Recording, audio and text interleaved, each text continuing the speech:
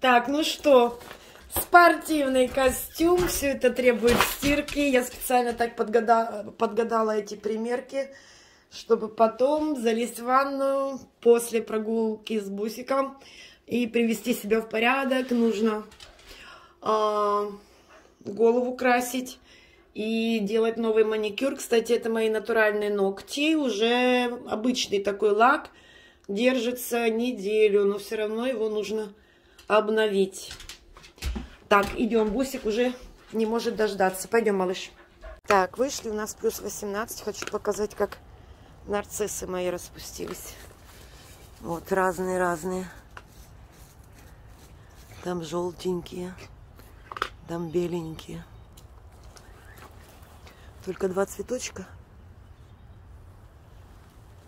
Странно. Тюльпаны лезут.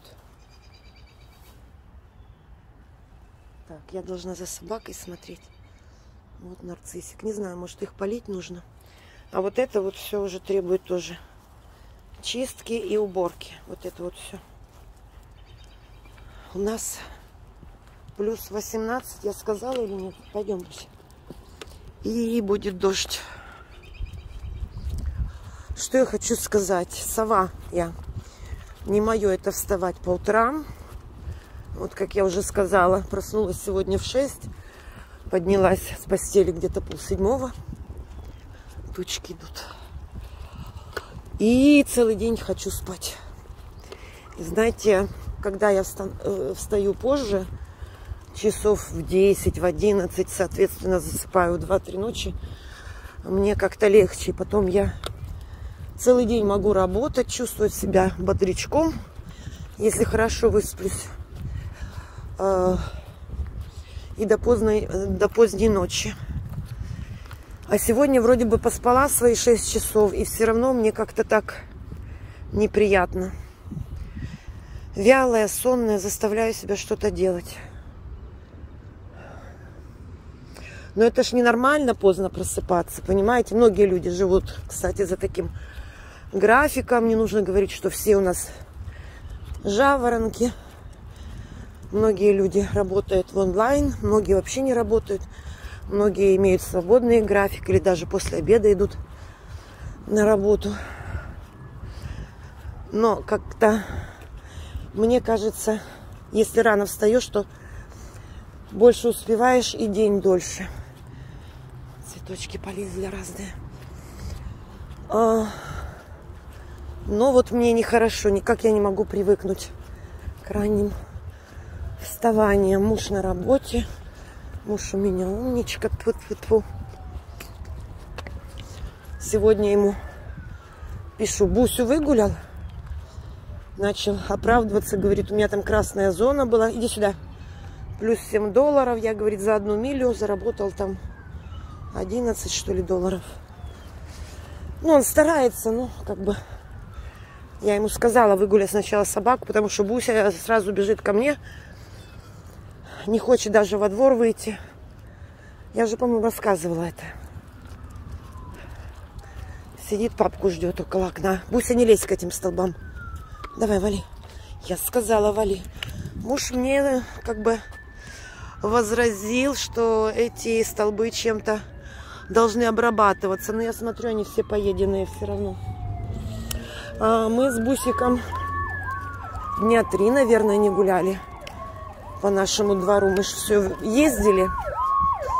А муж, когда был выходной, то я его просила с Бусиком погулять. Так что я уже три дня, наверное, с Бусикой не ходила. Надеюсь, что дождь нас не замочит. Соответственно, три дня не слушала английский. Сегодня услышала знакомое слово и напрочь забыла, что оно обозначает. Хотя сто раз я это слово учила. Ой, блин. Такая память дырявая. Так, девочки, мальчики, жду ваших, ну, мальчики, навряд ли жду советы. Ну, а вдруг, может, мальчики смотрят. Э, советы, что, э, что оставить, что вернуть. Я бы, если бы уже вынуждена была возвращать, вообще хочу все оставить, честно говоря. Но если бы вынуждена была возвращать, то, наверное, белый сарафан, фиолетовое платье, как-то оно не очень сидит. И, может быть, даже вот это клетчатое пальто без подкладки. Красное. Может быть, этот свитерок полосатый вернуть. Даже не знаю. Потому что муж, когда узнал, какую цену я заплатила, блин, в этом магазине, 600 баксов. Это типа поехала ему подарок делать, да? Это у меня называется сделать мужу подарок. Буся стоять машина. Жди.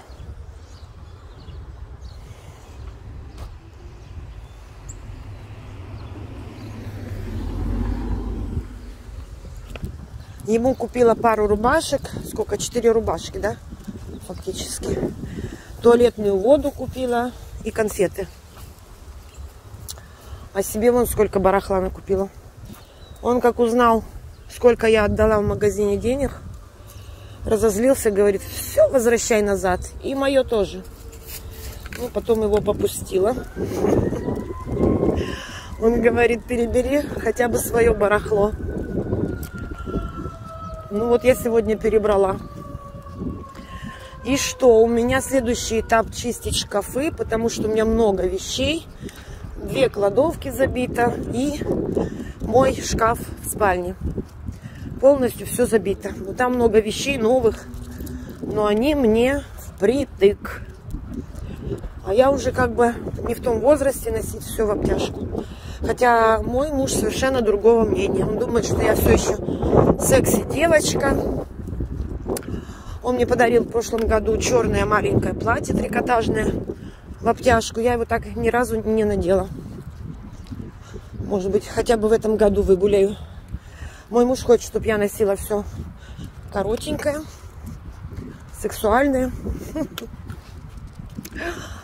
Вот так вот. Все мужчины, пожалуй, одинаковы в этом плане. А я себе, видели, чего накупила, да? Все широкое, длинное в основном. Унисекс. То есть абсолютно бабские наряды. Кстати, сейчас это модно. Я смотрела даже широкие штаны. У меня есть огромные широкие штаны.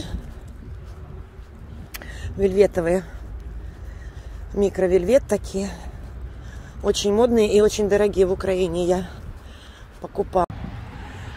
Собьюсь немножко с темы, хочу показать вот эту красоту. Все это скоро-скоро облетит. Посмотрите, какие пышные цветы. Я не думаю, чтобы вы устали от такого видео весеннего.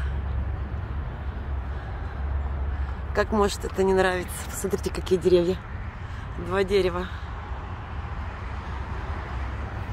Так вот, вельветовые штаны я ни разу здесь так и не выгуляла.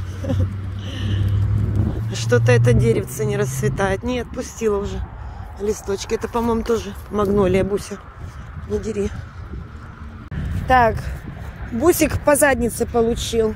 Шли по дороге, то ли колбаса какая-то валялась, то ли, то ли какая-то хрень, маленький кусочек. И он моментально раз языком слезал. Я как треснула ему. Это вообще ужас, такого давно не было. Но я бью его по голяшке, скажем так, поляшке. Это позволено в плане а, дрессировки. Потом идем, два шага сделали, опять этот маленький кусочек валяется на асфальте. И он опять носом тыкнулся, я как нарала на него. Я не знаю, что это такое. Рядом. Потом говорю, рядом, иди рядом со мной. Все понимает, когда хочет. Так что вот так вот, девочки, все время нужно за собой следить. Возвращаясь к теме. Мужчине в этом плане намного-намного проще. А сколько женщине нужно времени, чтобы даже живя вот в таком вот селе, быть ухоженной. Кстати, женщины здесь у нас многие ухожены. А, красиво стараются одеваться, ярко, особенно вот черные женщины. Они за собой очень следят. И ресницы накладные, и такие модницы. Яркие одежки всякие. Модные кроссовки, обувь. Или там лосины такие, знаете. Ну, не такие, как у меня. Подороже. И вот мне тоже сейчас и купаться, и голову красить, и маникюр, педикюр. Ну, в общем, дурдом. Поэтому, кто бы что ни говорил, это тоже труд, который нужно учитывать. Кстати, дождик капнул. Я надеюсь, мы успеем погулять.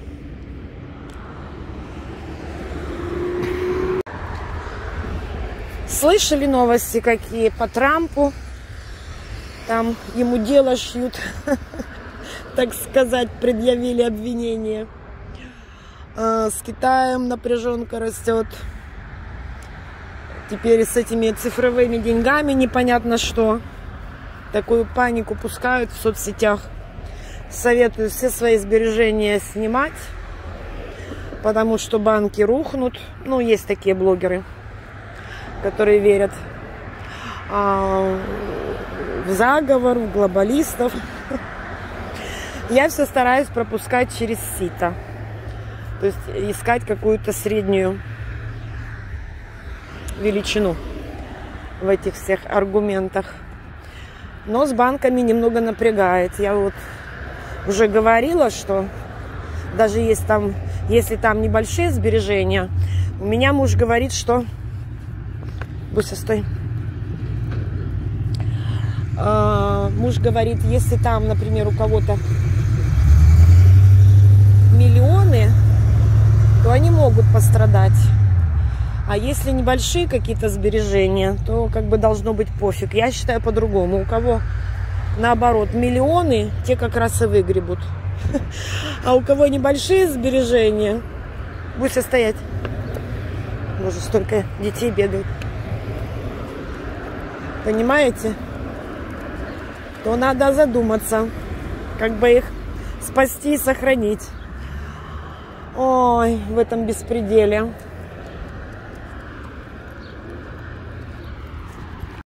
Боже, машина остановилась, пропускает меня на перекрестке. Я поднимаю руку знак благодарности. Слышу, меня кто-то зовет, а там сидит мальчишка лет 10 и кричит мне, какая собака. Мама, естественно, за рулем. Я говорю, кокер. Он, что, что? Ну, у них кокера, видимо, иначе немножко звучит. А мама переспрашивает, говорит ну, как-то по-английски, но с акцентом как бы, да. Не кокер, как-то по-другому называет. Я говорю, да, да. И так перенервничала. У меня телефон, блин, падает из рук. Хорошо, что в футляре. И падает на асфальт, но не разбился. Буська сейчас стриженный, сильный. И все спрашивают, какая это порода. Вот мы даже ездили на вишню. Все говорят, э, как по-английски, Q, Q, да? Э, симпатичный, мол. Все ему делали комплименты. Наверное, меня не слышно, ветер поднялся. К тряпкам вернемся. Значит, какая ситуация? Я же имею карточку в этом магазине Marshalls, да? Это кредитная карточка, открывается. А, муж мне открыл эту карточку. И система такая, что потом через месяц приходит счет, и ты оплачиваешь. Я когда сказала, что я сама заплатила эти деньги, то есть у меня была полная уверенность, что я мужу даю деньги наличные. Ну, то есть у меня есть некоторые деньги а, на сбережении. Ну, думаю, пойду из банка сниму.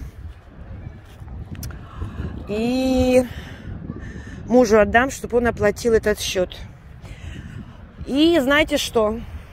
Получается так, что каждый раз муж говорит, что да не надо мне там твоих денег, я сам оплачу этот счет, понимаете?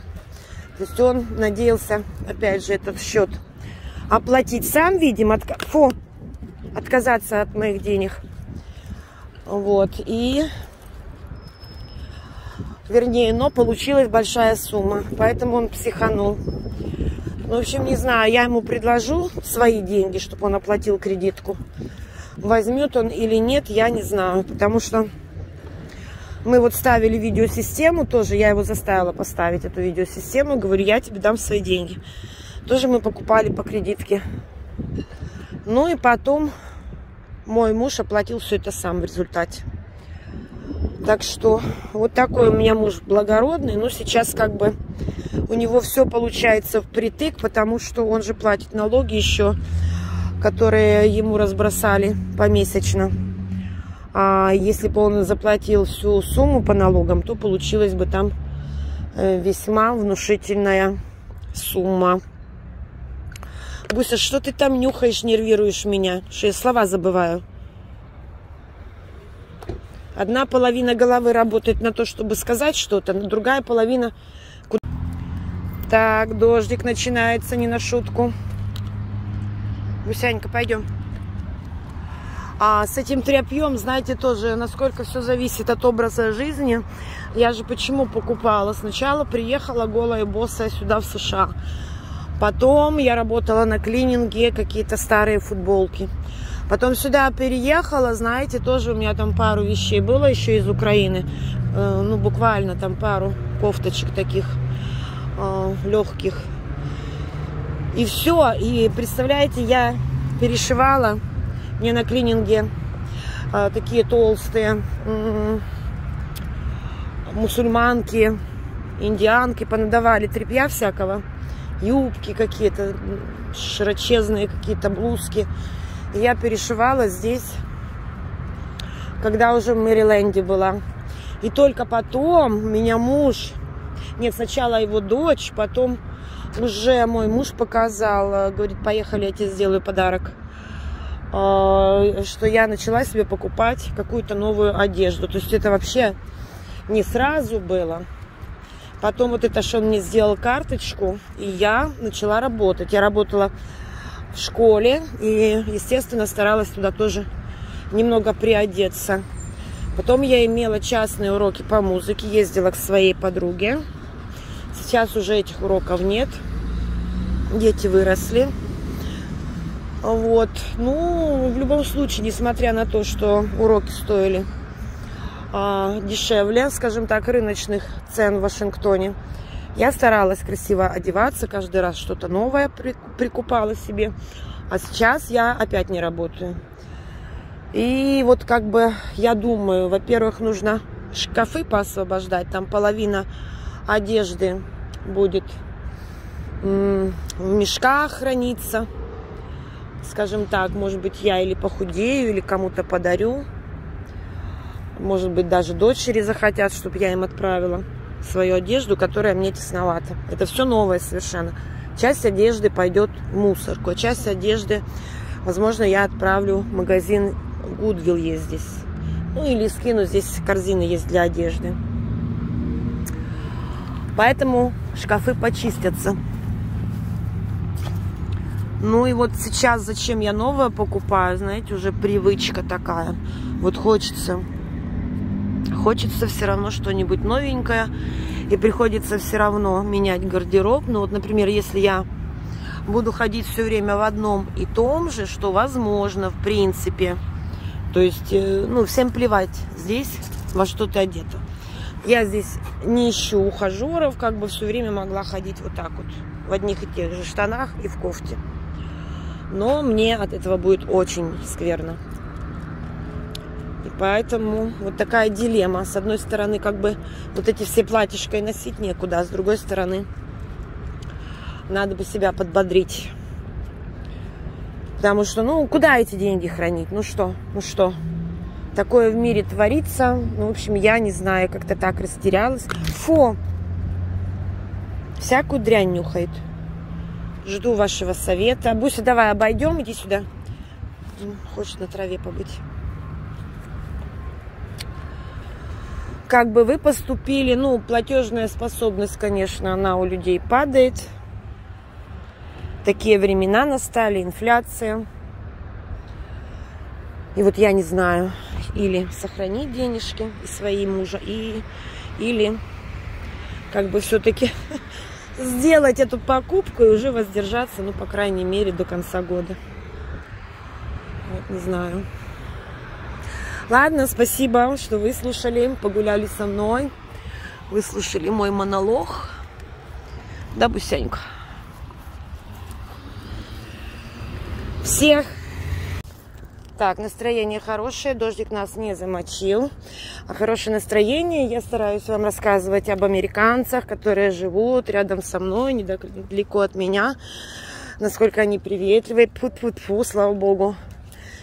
А, вот сейчас стоим на перекрестке тоже, и напротив девочка, мама молодая, такая худышка, и с колясочкой, знаете, а в коляске малюсенький ребеночек.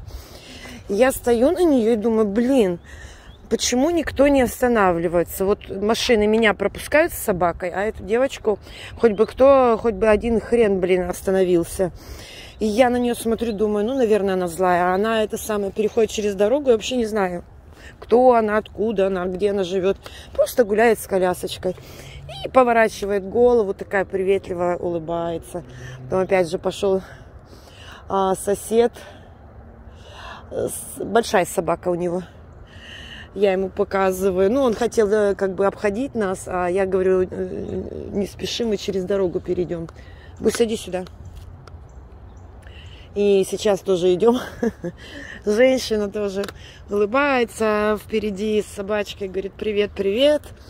Я уже так, чтобы ей подыграть, говорю, розовая собачка, розовая Дотя и розовая мама. Ну, в смысле, у собачки была шлейка розовенькая, и мама в розовой кофточке такие люди приятные. Вот сразу повышается настроение от каждой улыбки. Вот. Поэтому не ленитесь улыбаться, говорить добрые слова, комплименты. И у вас на душе будет хорошо. Другому человеку приятно. И вам хорошо на душе. Так, Буся домой не намерен идти, я так чувствую. Сейчас обойдем еще здесь немножко. Так что спасибо, что с нами прогулялись. Видите, как тут идеально все сделали. Копали яму, ремонтировали канализацию. Я показывала в своем видео. Все залатали. Ребят, всем привет! Что я хочу сказать сегодня? Вот это вот дерево, это моя невеста. Это дерево зацветает, и оно как бы расцветет где-то в середине апреля. Сейчас только листочки, лепесточки распускает. И у нас вечер, еще не ночь, птицы поют. Понимаете? А это мой пес Бусик. Только что он лежал на папином кресле, пока мама монтировала видео. Да, он мирно лежал, а до этого э, разбросал свои игрушки, которые я пособирала. У нас собирается дождь. Он нашел свою любимую игрушку. Сейчас покажу. Вот это любимая Буськина игрушка. Буська, это мой пес. Вот он прибежал. Пошел пописал. Садись, садись сюда. Он вот здесь любит сидеть и ждать меня, пока я сделаю видео и пока мой муж вернется с работы. И вот я думаю, что для счастья нужно в принципе. совсем немного, совсем немного, чтобы все были здоровы, чтобы мы слышали, как птицы поют. И кому нахрен вообще нужна эта блядская война? Неужели они не могут нажраться? Неужели им денег мало? Я не могу понять. Для счастья нужно совсем небольшое, чтобы все были здоровы, чтобы птицы пели, чтобы рядом был верный пес, надоедливый, и чтобы деревья пускали свои корни в эту прекрасную землю. Для счастья на самом деле очень мало нужно. Бусинка? Мой милый пес лежит свои яйца и балдеет. Вот оно счастьечко. Ты мой сладкий. Бусик желает всем хорошего настроения. Подписывайтесь на наш канал. С любовью. Из США. Увидимся. Пусть будет все хорошо у вас. И даже замечательно.